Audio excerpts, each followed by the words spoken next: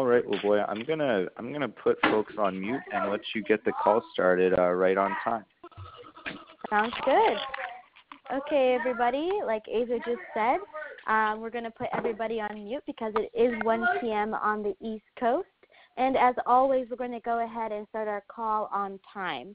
Um, when the time comes for questions and comments, I will tell you how to request um, unmuting so we can hear from you. Um, my name is Wambui, and I'm one of two citizen empowerment coordinators here at American Promise. And I want to welcome you to the American Promise National Citizen Leader Call for March 2018. And this is a call that happens on the second Saturday of every month. Thanks to all of you who've taken the time out of your busy weekends to join us. Or maybe you couldn't make it live and you're listening to the recording afterwards. Either way, you're stepping up to save up our democracy. So thank you. And today we are incredibly honored to have a guest speaker with us today, U.S. Representative Rick Nolan from Minnesota's 8th District. Um, last month we gained insight into how to effectively lobby our elected officials from Pennsylvania State Rep Mary Jo Daley. And this month we'll learn about the federal legislation Representative Nolan first introduced in 2013 that has been so instrumental in our work towards ratifying the 28th Amendment. And as always, there will be time for question and answer, so please be thinking of questions and I'll let you know how to request unmuting you so we can call from you. After hearing from Representative Nolan, we're going to hear a grassroots victory from dynamic citizen leader Ishwari Solahub of Santa Fe, New Mexico. Then we'll do a role play, practicing a way to ask a series of questions that will allow your elected official or candidate to go deeper into our issue, which, as a result, might reveal an opening on next steps with them. We'll finish by talking about this month's action, generating support for the American Promise Candidate Pledge. This is going to be an exciting call detailing the targeted action empowered Americans are taking to push us forward to the 28th Amendment to get big money out of politics. And again, thank you to everybody who is here stepping up um, to save our democracy. And if you're more interested in learning about what it takes to start an American Promise Association in your community, please send me an email at wambuig at americanpromise.net. That's W A M B U I G at AmericanPromise.net. And I want to start by sharing this quote from Horace Mann, who was an educational reformer in the early years of our nation, who said, Let us not be content, content to wait and see what will happen, but give us the determination to make the right things happen. I just want to repeat that. Let us not be content to wait and see what will happen, but give us the determination to make the right things happen. And I think everyone on this call is here today because they're not content with waiting to see if money's influence in our political system will, system will change and are eager to work on making the right thing happen to get a 28th Amendment enacted we, the citizens, are working together on this solution in a cross partisan way and indeed have the determination needed to see this amendment to victory. So thank you all for choosing action over apathy. I'm now going to pass it over to Jeff Clements, American Promises founder and president. Hi, Jeff. Hey, Wambui. How are you doing? Good to hear everybody on the phone uh, the many thousands of American Promise members and citizen leaders across the country. Congressman Rick Nolan is with us today. Congressman Nolan, thank you so much for joining us and for all your amazing leadership in Congress for this constitutional amendment to make sure that the people govern rather than money and the big donors. Uh, Congressman Rick Nolan has been a leader for this 28th Amendment in Congress. His first congressional service was from 1975 to 1981. He was recognized nationwide for his battles on behalf of working families, farmers, small businesses, and rural communities. And in 1981, he left Congress to start his own local business and later served as president of the Minnesota Trade Center Corporation. Uh, knowing the needs of the country and the call to service that he felt, he returned to Congress in 2013 and has made common sense ethics reform his priority. He first introduced H.J. Res 48, which would be a constitutional amendment to the U.S. Constitution, in 19 uh, I'm sorry in February 2013 and this amendment would uh, put um, the states and Congress with the requirement to regulate big money in politics so that the people are represented and clarify uh, that the constitutional rights of human beings belong to human beings and not to global corporations. Uh, he has uh, made this a priority. He's worked really hard for it. He's worked with Americans in, in not only in Minnesota but across the country. And for that, Representative Nolan, we are uh, uh very grateful, as we know your constituents in Minnesota are. Uh, before I turn the mic over to you, um, let me just tell you the kind of people that you're speaking with on the phone call today. These are citizen leaders, volunteers for American Promise, and organizations, local, state, and national around the country uh, working to make this constitutional amendment a reality. There are people like Vicki Barnes, my friend and Minnesota uh, citizen leader, uh, who organized an amazing series of events in St. Paul and Rochester that I had the honor of attending last month with the League of Women Voters, Minnesota Clean Elections, as well as American Promise, and people like Vicki in Ohio, New Jersey, and elsewhere who are taking the responsibility to meet with members of Congress, whether Republicans, Democrats, or independents, to uh, persuade and, and talk about this constitutional amendment and build support across the aisle. So that's the kind of people who are on the call. They're ready to get to work, and they know they're excited to hear what you have to share with us. So, Congressman Nolan, take it away, and thank you again. Well, thank you very much, Jeff, and uh, thank you to all the volunteers, citizen leaders uh, participating. I personally uh, have more years of uh, both uh, private and, public sector uh, engagement than probably anybody on the call here. And I must tell you, um, reversing Citizens United and combining that with other campaign reform issues, in my judgment, is probably the single most important issue facing this country today. In fact, uh, in my judgment, it, challenges the very foundation and the values of, democracy itself.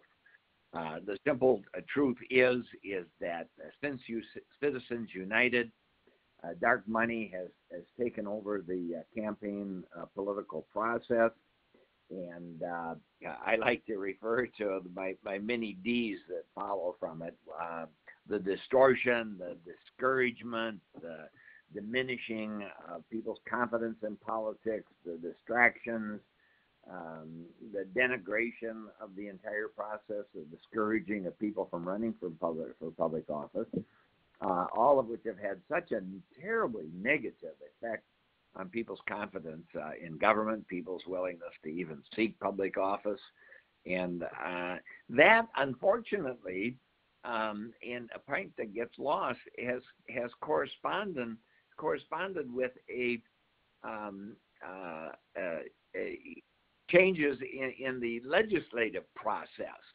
um, whereby the uh, Congress of the United States has become uh, probably one of the most undemocratic, uh, and I'm not talking about Democrats versus Republicans, I'm talking about democracy. It's probably become one of the most undemocratic institutions uh, in America. And the reason um, being that um, when you have all this dark money in politics and all the partisanship and, and all the D's that I mentioned that that go with, with, with this whole process, um, corresponding is, is a Congress that has been the most closed Congress in the history of the country. And I, I had an opportunity to see uh, how it worked in, in the 70s and and in the 80s, and everything came up through uh, what we call regular order, meaning uh, through the committees, where uh, if anybody had an idea or an amendment, they could offer it. And then it went to the uh, floor of the House of Representatives or the Senate. And again, under an open rule, where if anybody had an amendment that they wanted to offer or consider, uh, they offered it, had it argued, debated, and voted on. That simply doesn't happen anymore.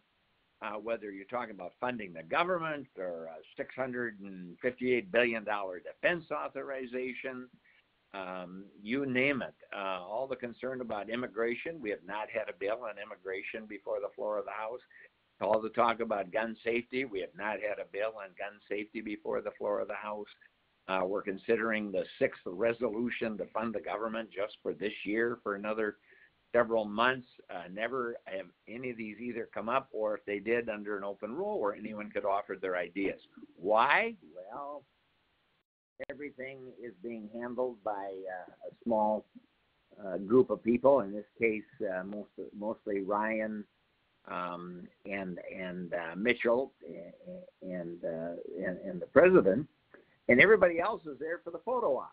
And uh, you're told that uh, you should go across the street and uh, to either the Republican or the Democratic call rooms and uh, and raise money because you're going to have an incredibly expensive uh, election coming up uh, in no small measure because of Citizens United and uh, all the money that's going to be pouring in. My district, uh, my election last time was approaching, uh, uh, you know, well over $22 million that have been uh, recorded, but uh, more in depth than that, going into the next $25 million. So um, the bottom line is members of Congress, uh, for the most part, have become you know, middle level level uh, telemarketers dialing for dollars, and Congress has become an incredibly closed institution, very undemocratic. And the fact is that um, Citizens United has been at the center of what is uh, bringing all of this about. And uh, having served in the 70s when we had regular order, when we didn't have Citizens United, why measures would become before the floor of the House. It was not uncommon 200 amendments to have every issue fully aired, fully debated, argued, and voted upon. And that's the way the country operated uh, quite successfully for several hundred years. So uh, let me just uh, uh conclude by saying the single most important thing that we could do, in my judgment, uh, to get this country back uh, on a much more positive track um, that um, will sustain a, a positive and progressive future is to reverse Citizens United. Because until we do that, we're not going to be able to deal with the wars of choice. We're not going to be able to deal with the disparities uh, in income. We're not going to be able to deal with the public's loss of confidence in our entire system. Uh, you you name an issue, and you can trace it back to what's happening as a result of this uh, tragic and terrible Citizens United decision by the Supreme Court of the United States.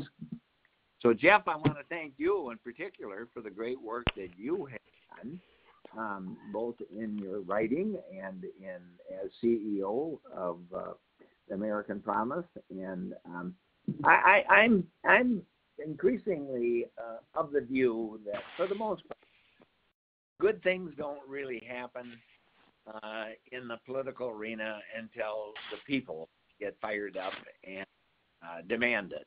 Uh, I'd like to say that, uh, uh, you know, hopefully, and it does happen from time to time, you have some very enlightened uh, leaders that can uh, move the ball uh, and uh, make positive, progressive change on their own. But generally, it doesn't happen until you have body politic that is really working, really demanding, insisting that positive changes uh, take place. So uh, I'm really excited about what American Promise is doing and uh, uh the positive benefits it's going to have for us in the future going forward. So that's kind of my introduction. I'd be glad to take questions and um, uh, hear uh, any other comments that others would, would like to, to make on, on this whole issue. But I thank well, you for the opportunity to, to have a few words here and to have a chance to meet with all the great leaders and volunteers that are part of American Promise around the country. Well, thank you, Congressman Nolan, and thank you for your kind words. And uh, we certainly are um, so glad to have your leadership and glad you can um, stay for a little bit to uh, address some questions. And I, I just wanted to say we we look forward to, uh, we hope to see you when uh, all of our citizen leaders from around the country are gathering for our National Citizen Leadership Conference in June. That's June 22nd. And uh, we'll look forward to, to seeing you and, and many other members of Congress up on Capitol Hill on our Citizen Lobby Day on on Monday, June 25th. We we share your view of what um, can help make uh, America move forward, and it's really up to the people. But it certainly requires uh, inspired and, and determined leadership like yours in Congress as well. So thank you very much, and I'll turn it back to Wambui for uh, managing the questions. Thanks. You bet. Thank you, Representative Nolan. And um, yes, now it is time to open it up for some Q and A. So if you do have a question, go ahead and press the number one on your keypad so I know to call on you. And when I do, please let us know where you're calling in from and your question. Um, but before I open it up to everybody, I do have a quick question for you, Representative Nolan. Um, so there's lots of polls that indicate there's a really big cross-partisan support for lessening money's influence in our political system. And for the past year, our APAs have been working to bring Republicans on board. So I have a, um, I guess, two questions for you. Do you see any shift in your Republican colleagues? And more importantly, what are the effective ways to talk about this issue that really cuts across the aisle?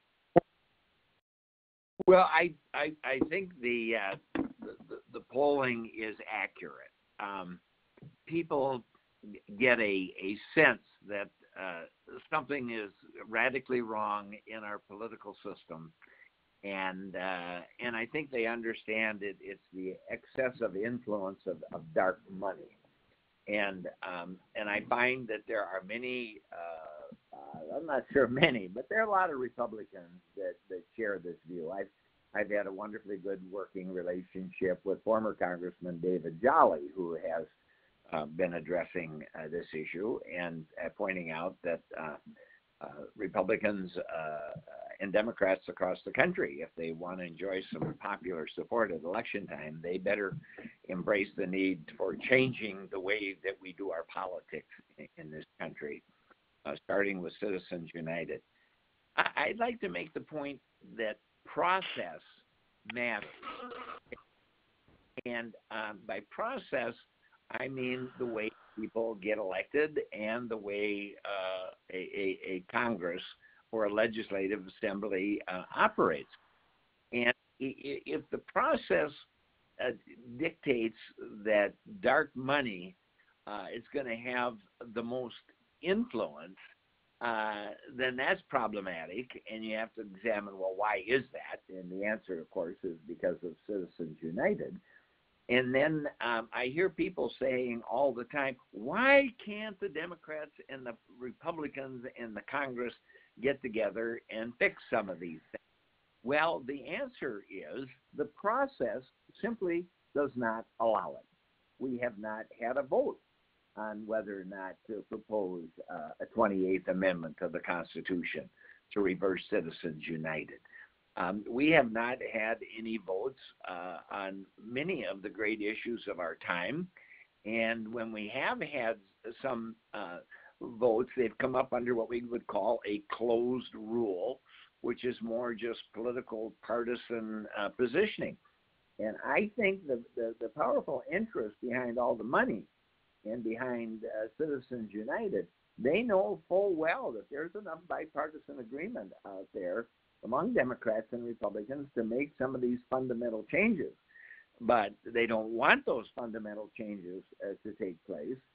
And uh, they use the, the money in politics to um, uh, push this uh, whole closed rule. And, you know, when I say that it's the most closed Congress in the history of, of, of the Congress, um, in history of the country, that, that's not an opinion. I mean, that's a fact. Um, every every bill that comes before the uh, floor of the House has to have a rule, and historically they've been what we call open rules. And um, uh, this Congress, it's been uh, uh, had more closed rules than any Congress in the history of the country. And even occasionally, uh, they will call, uh, bring stuff up under what we would call a structured rule, where the Rules Committee will uh, allow a handful of amendments to take place. But this is a this is the most closed Congress in the history of the country, and that's because of the money. And it's unfortunate because we could come together, I think, on a whole wide range of things on budget, on war, on peace, on campaign reform, on immigration reform, on gun safety reform, on on budgeting, and a whole wide range of issues. If the Congress was only allowed to work its will, but it is not, and that's why reversal of the Citizens United is so critically important. Thank you so much, uh, Representative Nolan. Um, and I'm going to open it up to some questions. I see that Marie has her hand up. Marie, you are unmuted. Where are you calling in from, and what's your question? Hi, I'm calling in from Cherry Hill, New Jersey. I'm a co-leader of Tri County, New Jersey APA.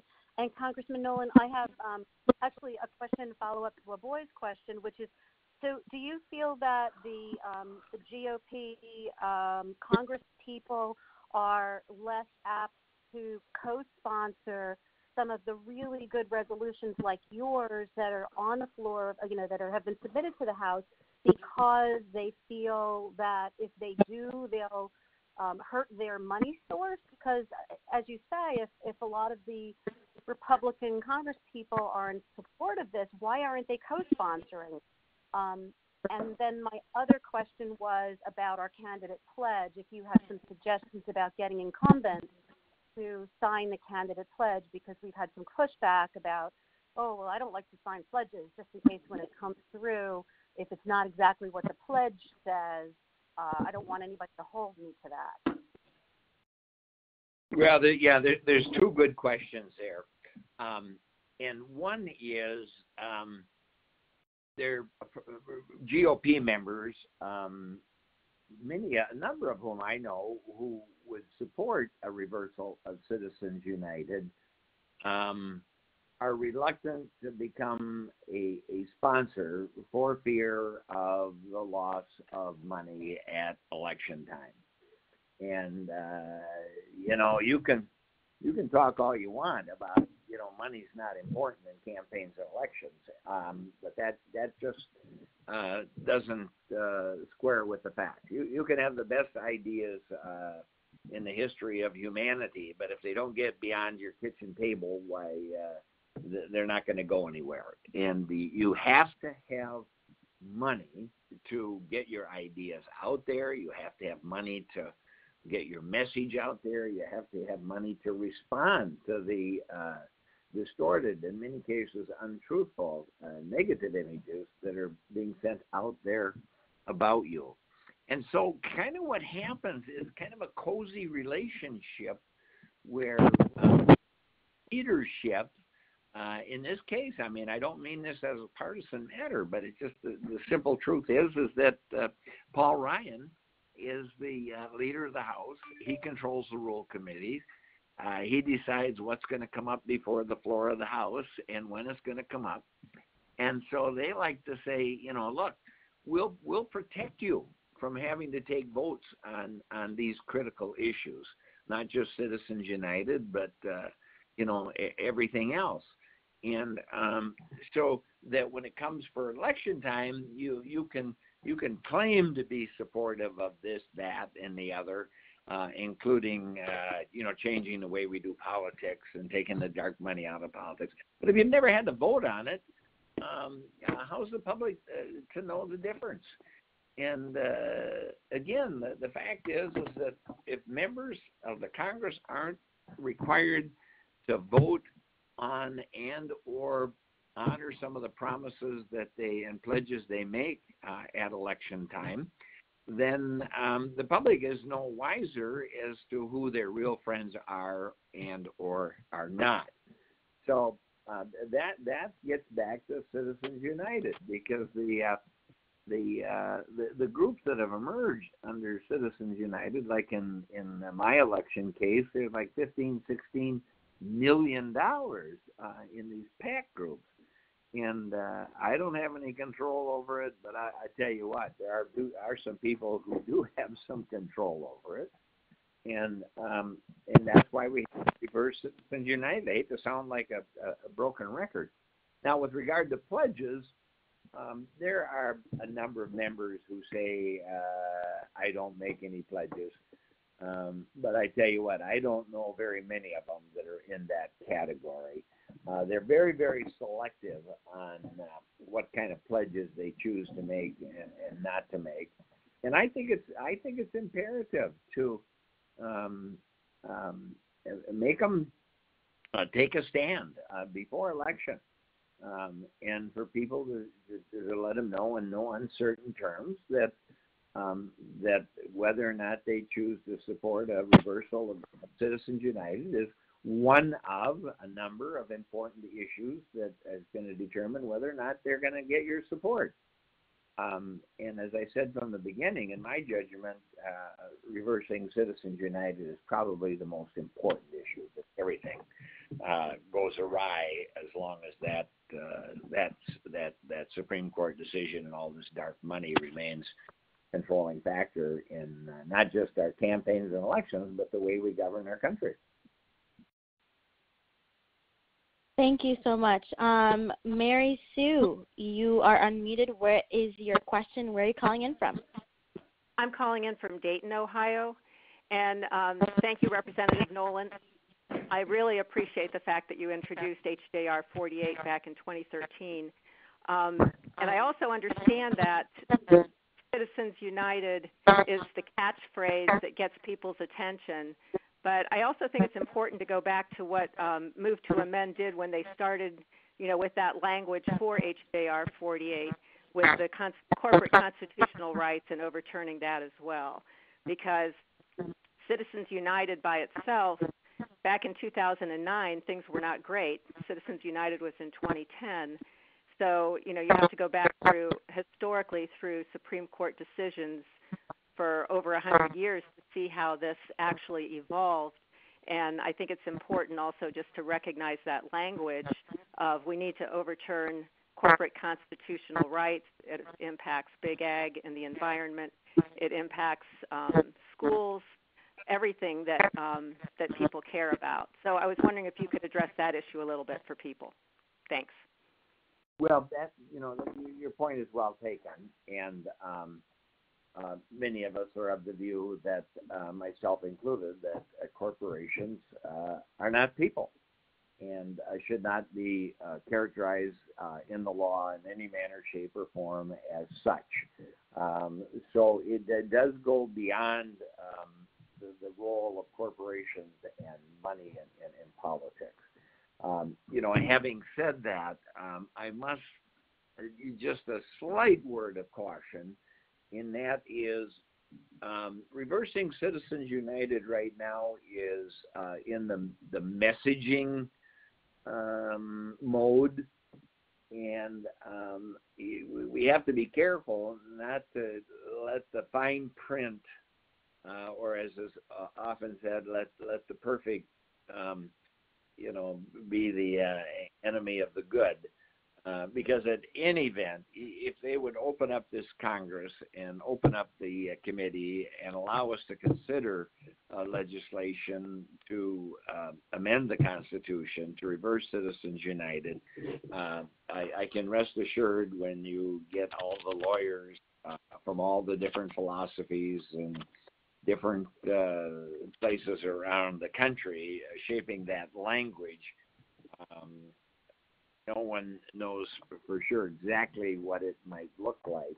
Um, only that if it's going to be supported, it has to be effective. In uh, taking all the corporate dark money out of politics would be be the first goal and objective from from my consideration, and then and then secondly, um, not not an importance either, but uh, this is one of the two things we have to do is to finally make this uh, point in the law that corporations are not people. So, uh, but I have seen cases where you know we've gotten too carried away during the message phase uh, with getting the perfect language and kind of dividing ourselves and forgetting the message, uh, which is corporations are not people, and we got to take this dark money out of our politics. Excellent. Uh, thank you so much. Uh, Bill Davis, you are unmuted. Where are you calling in from, and what's your question? Bill uh, Davis. Yeah, I'm uh, I'm calling from Dayton, Ohio. Uh, I'm also interested in um, overturning Citizens United, and I wanted to uh, thank Mr. Nolan for uh, sponsoring HJ Resolution 48. Um, I I just uh, was wondering if you can uh, address how um, how American Promise is different from Move to Amend, which seems to be an organization that's been around longer and and has a, a tighter grip on um, you know the idea that corporations should not have constitutional rights. You've you've spoken a lot about uh, money um, in politics, but I'm wondering what uh, what do you see as the differences between American Promise and Move to Amend? Well, maybe I'll jump here on in on that. Yeah. It's Jeff. It's Yep. Jeff Clements, and I'm happy to um, address that. Uh, I don't want to take Congressman Nolan's um, time now uh, because I, I don't think it's. Um, we need to ask him to describe all the different groups. The, the the the wonderful thing about this work is there are many, many, many good organizations doing this work around the country, and, and what we're trying to do, all of us, is unite and be strong and build this movement to win. So I can talk about it more after we let Congressman Nolan go, but I want to make sure other people have a chance to ask Congressman Nolan about uh, his work in Washington. If he wants to comment on organizations or anything like that, of course he's certainly free to. But I just wanted to say I'll be happy to address that in more detail after. And um, again, if you have questions, you can press one on your keyboard, and I'll, I'll just give Congressman Nolan a chance if he wants to say anything on that um, before I do later on. But otherwise, back to Wambui. Jeff, I'll let you take that later on. Uh, to be clear, there are a number of very good organizations, and they uh, all have a different, uh, slightly different angle uh, uh, on Citizens United. Uh, all of which, in my judgment, are are of value and important. Um, but I do want to take a minute. Nobody's asked this question, but um, uh, I do want to point out that um, if and when and uh, I certainly hope that we do, and I believe we will, reverse Citizens United. Um, there's still a lot of work to be done in uh, restoring democracy in this country. And, I, I do have a Restore Democracy bill, which uh, HR 343, which starts with reversing Citizens United. But it also provides, uh, uh, so where do you go from there? It also provides for a system of of small donations and uh, public financing for campaigns, uh, independent commissions to do away with gerrymandering, obviously full disclosure of uh, where uh, any money comes from, online registration, and doing away with a lot of this voter suppression. Um, I quite frankly would like to see uh, a limitation on when campaign monies can be spent. Most European democracies, um, you know, have uh, elections that go anywhere from 30 to 90 days. My bill provides for 60. Um, I'm not sure that's the, the sacred number of days either. I just know that they shouldn't be 365 days a year every year. And then lastly, what I've talked about is restoring regular order. So but the linchpin to all of this, again, is reversing Citizens United. But then uh, the question, uh, obviously, we have to ask ourselves is where do we go from there? And there are a number of things that can and should be done to uh, make our process more inclusive, more open, and more democratic. And uh, those are some of the ideas that I put on the table. And uh, once we get to Citizens United uh, the way I I encourage our, our friends to take a look at my Restored Democracy legislation, uh, 343. Thank Next you, question. Representative Nolan. Um, okay, so we have Jill. Jill, you are unmuted. What's your question and where are you calling in from? Hi, I think I have you off the speaker. Do I sound like I'm on speaker? I can hear you, You sound good. Rick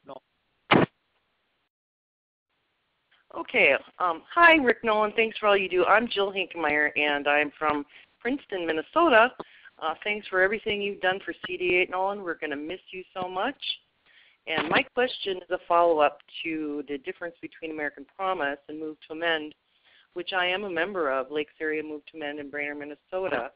And are you suggesting that uh, we uh, take the easier route, uh, that is only attacking Citizens United, and and and not and avoiding the larger picture uh, that corporate personhood was inserted unconstitutionally in 1886 during the uh, Santa Santa Clara County versus South Pacific Railroad. Uh, that's where this all began.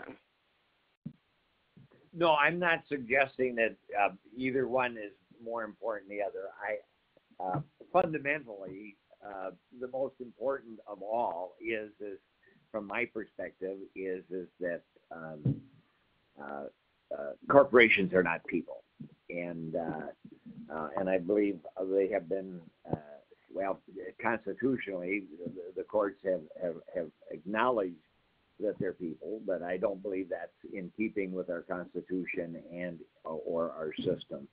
Uh, you know, having said that, until we get the money out of politics, uh, we're going to have a, a, a mighty difficult time getting anything done. Uh, so, but they, they're equally important in my judgment. Both reversing Citizens United to get the money out of politics, and then uh, the uh, effort to to uh, re- reverse the whole notion that corporations are people. They're both equally important.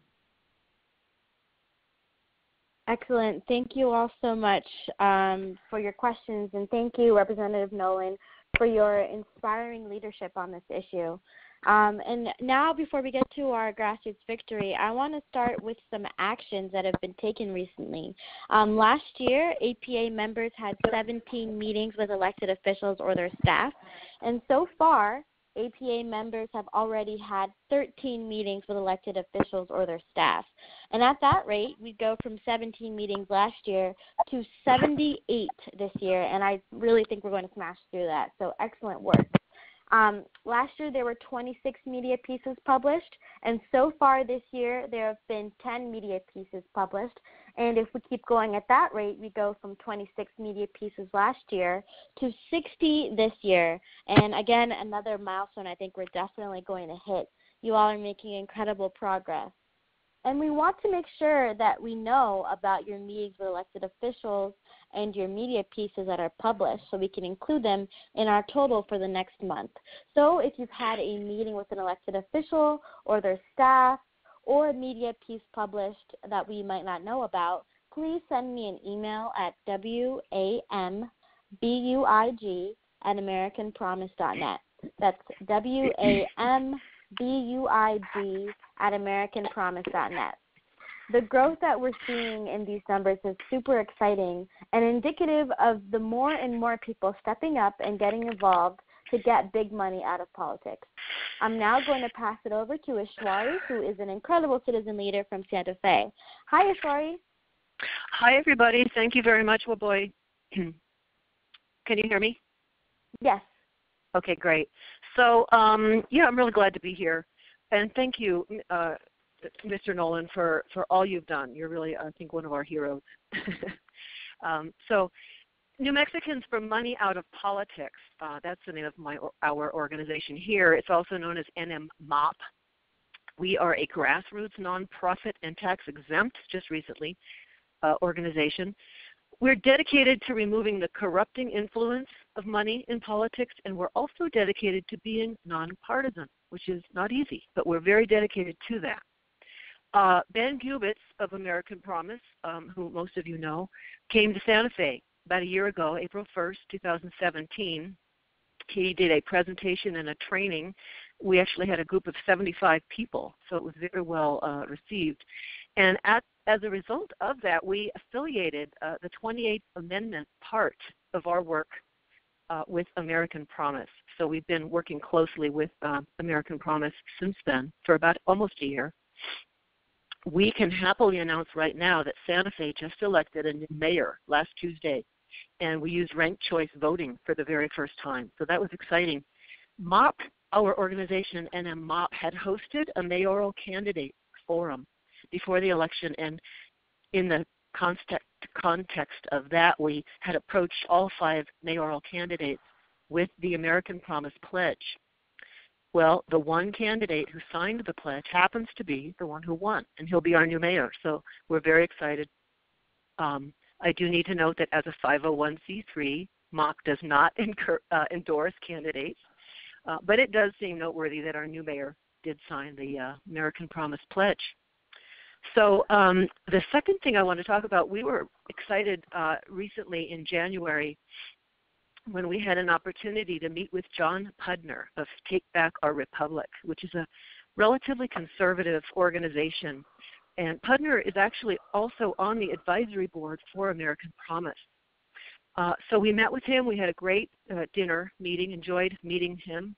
And in addition to beginning to form a relationship, we actually learned a little bit about lobbying from a conservative perspective, which was very interesting. Within days of the time we met with uh, with Pudner, he actually had found a sponsor in the New Mexico um, legislation legislators for um, House Joint Memorial 10, which it was the reason he had had come to Santa Fe. HJM 10 is aimed at passing what's called the Fix It America Constitutional Amendment. And that was introduced in the New Mexico House um, this past session. Fix It America is a really brief and concise document, uh, and it involves two things. One, requiring Congress requiring Congress to regulate the role of money in elections, and two, making gerrymandering illegal. We were super excited about this and to also know that New Mexico um, is one of several states where this Fix It America amendment was being introduced, kind of as a pilot. And uh, so we started organizing right away. You know, New Mexico, we are so fortunate here because, contrary to what Mr. Nolan was saying about how closed the U.S. Congress is, our legislation, legislate, uh, legislative body is really open and accessible. We can go to you know the committee hearings and sit in on the votes and we have a lot of access to our process here in new mexico um, so several of our, our volunteers were able to attend the very first committee hearing a few stood up and spoke in favor of um, the Fix It America Memorial, and it passed in that hearing with bipartisan support. And then, of course, after that, a number of us sent emails and made phone calls to legislators and committee chairs um, asking for the first of all for the memorial to be scheduled at each juncture, and then asking the entire legislative um, body to pass it. So it actually was weakened a little bit during the process uh, by several amendments, but in the end it did pass, and again with bipartisan support. So it's now on the record in the state of New Mexico. We felt like it was a really, really wonderful success to have been um, involved in. So I feel very strongly that these resolutions and memorials, they're not one time deals. They serve to keep these really important issues front and center so that when the time comes that the U.S. Congress actually does pass the 28th Amendment, and I'm, I'm holding out hopes that it will, um, at that time, New Mexico will be ready and willing to ratify. So that's really one of the things that motivates us here moving forward, now that uh, our legislative session is over, we're going to use the data from that Fix It America um, memorial as we approach our legislators in state to sign the, the uh, American Promise Pledge. Knowing how they voted on that memorial, it's going to be a really good opener as we start conversations about signing the pledge and supporting, you know, the whole 28th Amendment notion. So um, that's going to be sort of our strategy and we hope to take advantage of the momentum that Fix It America has created. We see it as a great opportunity to integrate a number of different ways that getting money out of politics is manifesting here in New Mexico. One, the grassroots activity of things like the American Promise Pledge. Two, actual state legislation like HJM 10. And three, the collaboration with uh, various organizations. So that's kind of my my little my little offering here today, and I thank you so much for um, inviting me to, to, to speak. I appreciate the opportunity to share this little success story with everybody on this call. Thanks. Thank you. Great. Um, your group has been in such serious action. Um, now we're going to talk about meetings with elected officials in just a second. But if there's anybody on the call who is not yet in an APA and wants to learn more about starting an American Promise Association, feel free to send me an email at wambuig at americanpromise.net. I'm now going to turn it over to Azer Cole, who is going to lead a role play before going over this month's action. Hey, Azer. Hey, Wambui, and thanks so much, Ishwari. Fantastic hearing from you and everyone else on this call. Um, we're now going to just practice asking our elected officials or candidates a series of questions that will allow them to go deeper on what they believe and why they believe it. You know, this is especially good for first time meetings or meetings with Republicans who might be uncomfortable co sponsoring bills with one or maybe zero fellow Republican co sponsors because if we can truly listen to our elected officials, we're more likely to see an opening for action and for next steps. So I'm going to ask Wambui to play the role of an elected official. I hope that's all right, Wambui. And I'm going to ask questions to honestly get to know what you, as an elected official or candidate, thinks, and to find a way to go deeper with you on this ever important issue. So, Wambui, which elected official are you going to pretend to be in this role play? I will be a congresswoman uh, from Boston. All right. Well, thank you so much, Congresswoman Gatheru, for meeting with us here today. And just a little quick side note, you know, first me and my group members would introduce ourselves. We'd share why getting money out of politics is important to us, thank our congresswoman for something she's done, and then one of us might ask this type of question. And Congresswoman, I first really just want to ask you simply, what do you think about money in politics? Um, is this something that you feel affects your day-to-day work? Um, yes, unfortunately, money in politics is something that absolutely affects my work, um, and more than I would like it to. And could you just say a little bit more about specifically um, how it affects your work, Congresswoman? Yeah, so I spend a lot of time fundraising, certainly more time than I'd like to, and that takes away time from me meeting with constituents like yourself. And what's it like fundraising all the time? Is this a rewarding part of your job? Yeah, so fundraising is extremely time consuming and not something I would call rewarding or something that I particularly enjoy. Um, what I actually enjoy is meeting with my constituents and learning about their lives and how to best advocate for them in Congress. And fundraising takes time away from me meeting with my constituents and learning more about legislation. And Congresswoman, I don't think you're alone in that. Um, have you given any thought to what can be done about this problem so that you could spend the bulk of your time working with your constituents and not worrying about fundraising? You know, Azer, I actually haven't been able to give much thought to this. I'm super busy with my committee obligations, and of course, I focus on my constituents' needs, but I'm not really sure what I can individually do. And, Congresswoman, can I just tell you about the solution that me and my group are focused on? Of course, I would love to hear it. All right, great. So I'm going to hop out of this role play. You were fantastic, Congresswoman Gatheru. And Thank what you. we've done really is establish that there is a serious problem in your own words. In this case, Congresswoman Gatheru you know, doesn't really know what she can do about the problem. And that might not always be the case, but you can see the type of questions we're asking to try to learn exactly where our elected officials or candidates stand on this issue, what they already know, what they don't know, so that we can most effectively describe what we're advocating for. And I want to remind people that this is primarily for first time meetings with elected officials or for Republicans who might feel uncomfortable co sponsoring bills with only Democrats. And with one elected official, you might get an overwhelmingly positive answer. They've already co sponsored all the bills that they can, they've taken the candidate pledge, and then they're not done, but you ask them to do even more something like work across the aisle to bring a colleague on board, or write an op ed about the importance of the 28th Amendment that we would help them place. So I know this is something people are already doing, and it's something some people are doing for the first time. So I'm curious if anyone on the call has a question about this type of role play, about asking these types of questions. And if you do, just go ahead and press 2 on your keypad and I'll know to call on you. So again, if you've been having meetings with your elected officials or candidates and you know have been asking these type of questions or maybe just are, are curious about this process, go ahead and press 2 on your keypad and I'll know to call on you.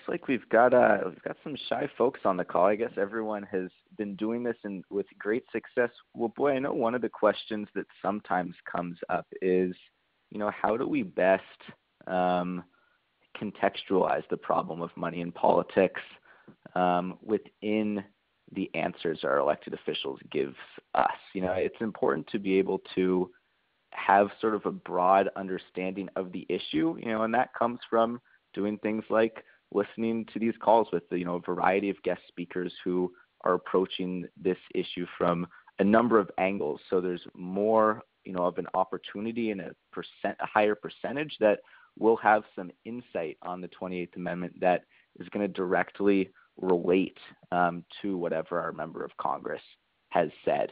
Um, you know, it's also you probably noticed in the type of questions I was asking you, Wambui, you know, none of them are yes or no questions. They're all open-ended, um, really trying to give our elected official or candidate an opportunity to explain the problem in their own words, and maybe in the process of answering those type of open-ended questions, um, you know, figuring out for themselves exactly where they stand on this issue. Um, so I'm just looking at the clock, and in the sake of time, I'm going to tie this into our action for this month, which is directly related. It's writing a letter to our member of Congress urging them to sign the candidate pledge. Because elected officials don't create political will, they respond to it. And it's up to us to encourage ours to sign the candidate pledge to stand with people and not profits. Now, if you're working in a group of people already, and I hope most people are, it's likely, likely that there's already a liaison for your members of Congress. Um, each member of the group can certainly write a letter about the candidate pledge. This is fantastic.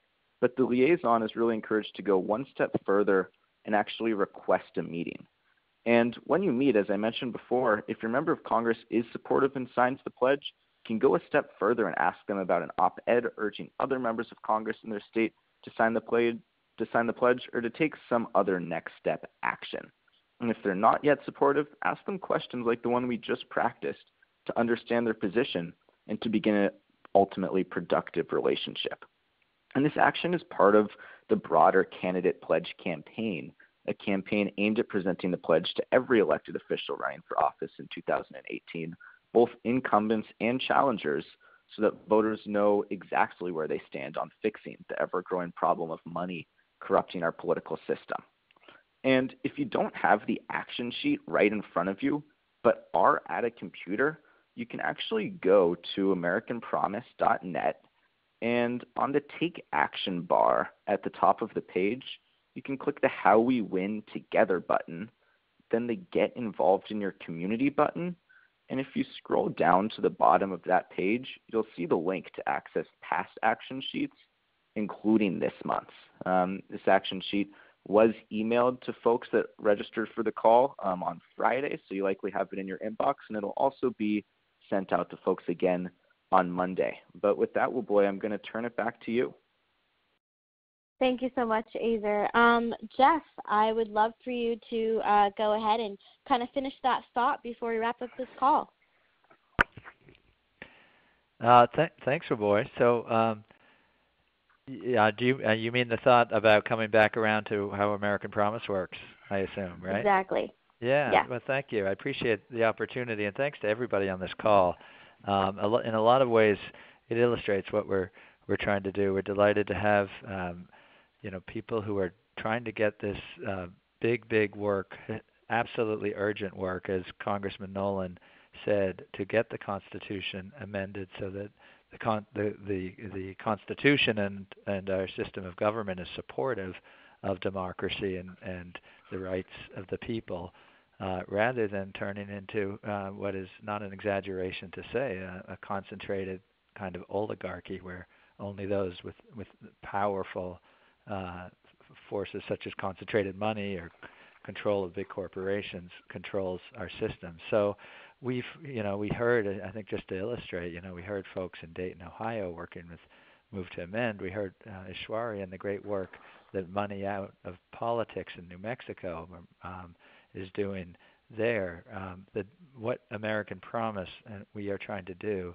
is support efforts, uh, unite us together, connect us together, strengthen our work, no matter what organization you find is most appropriate for you and, and what you you believe because we are all seeking the same goal and we may have different tactics, we may have different strategies, we may even have different views and we um, I, I'm sure we do have different views and that's the beauty of it is that we're trying to unite and we're succeeding in uniting the vast, vast majority of Americans who know we have to get this done. And so uh, the kind of work that you're doing, the pledge campaign, the, the meetings with members of Congress. Uh, I hope you'll uh, check out our Citizen Leaders uh, National Citizen Leadership Conference at citizenleaders.us. That's citizenleaders.us, all one word, and and uh, register for the conference in June.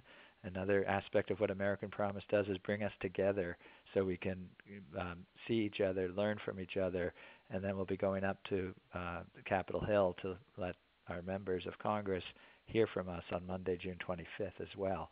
And so those are all the kinds of things that American Promise is trying to bring to this uh, work and bring many more Americans into this work. And we're delighted with the response. And it's not because of us at American Promise. Wambui, Azer, thank you. You guys are amazing.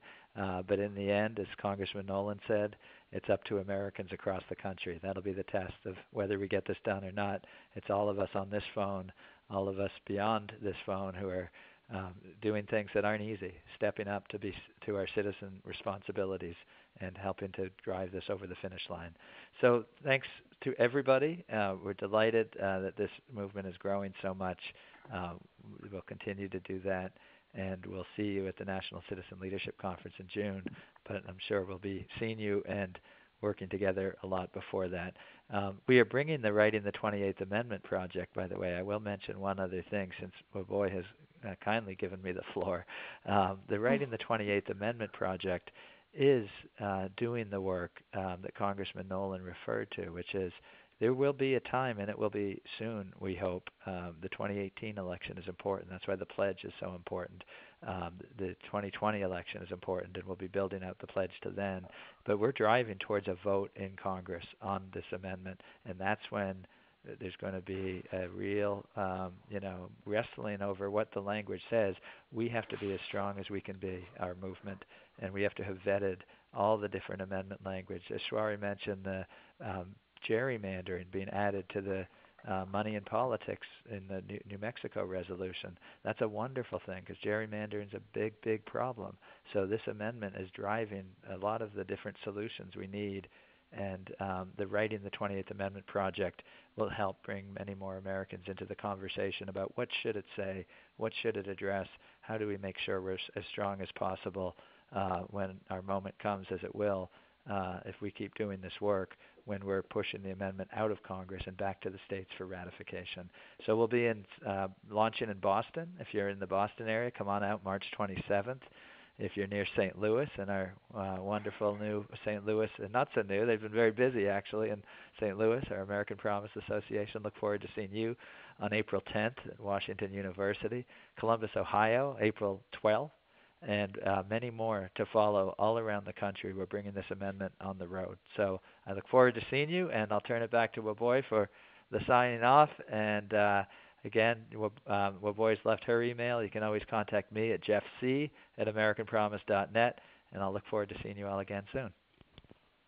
Thank you, Jeff. Um, and like we've been saying, our National Citizen Leadership Conference is going to be in Washington, D.C. from June 22nd to the 25th. And something really exciting about this year is the lobby day that we're going to have, where we'll go to Capitol Hill to build support for the constitutional amendment to put the people back in charge.